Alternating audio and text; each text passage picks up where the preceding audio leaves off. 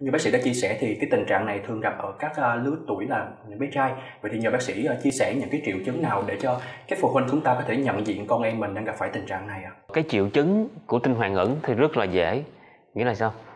Chúng ta là cha mẹ khi chúng ta sanh bé trai ra ha điều đầu tiên chúng ta phải sờ hai bên có đủ hai trứng hay không phải không? Rồi có những cái trường hợp là khi sanh ra chúng ta sờ có đủ hai trứng đó tuy nhiên một lúc nào đó cái tinh hoàng nó di động thì nó sẽ chạy lên nó ngược trở lại ống phúc tinh mạc ha. Thì những trường hợp này gọi là tinh hoàng di động. Thì nó cũng là một cái thể của tinh hoàng ẩn nhưng mà nó sẽ nằm hơi thấp ở phía dưới nó cũng hay chạy lên chạy xuống như vậy. Thì bậc làm cha mẹ của chúng ta thì khi mà chúng ta uh, chăm sóc bé nè ha chúng ta phải lúc nào cũng phải để ý à nhìn ở vùng biểu đó hai bên có có cân đối hay không ha.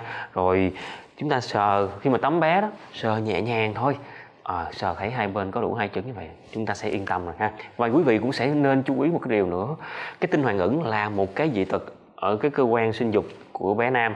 Nó cũng sẽ kèm theo những cái dị tật khác chẳng hạn như là lỗ tiểu đốm thấp nè hẹp da quy đầu rồi tật cong vẹo của cầu nhỏ ở em bé nữa. Về chúng ta phải cực kỳ chú ý ha. Khi mà bác sĩ Tân cũng như các đồng nghiệp ngồi khám và tư vấn cái trường những cái trường hợp thực sự rất là tội nghiệp luôn rắc. Thì các bạn này ở dưới uh, vùng sâu vùng xa nghĩa là không có tiếp cận được cái y tế một cách hiện đại nhất ha. Thì cha mẹ của các bạn cũng không để ý không? Thì với quan niệm sanh ra trời xanh thì trời nuôi như vậy đó. À, khi mà các bé lớn lên các bé đến khám thì các bé không có con ha. Các bạn nó không có con được thì khi mà khám thì bác sĩ rờ vào thì không thấy hai tinh hoàng ở biểu luôn ha. Thì khi mà hỏi lại đó, thì các bạn nói là hồi nhỏ đó, ba mẹ cũng không không có để ý nữa.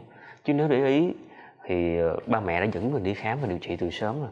Và riêng bản thân bạn đó cũng không để ý luôn ha. Cho đến một lúc nào đó bạn đó coi được những cái thông tin có thể là coi được những video của sĩ tân hoặc là coi được những cái bài báo chia sẻ ở trên uh, internet đó, ha những cái nguồn chính thống thì bạn đó mới lấy tay tự rờ vào rồi mới biết được cái nguyên nhân như vậy ha.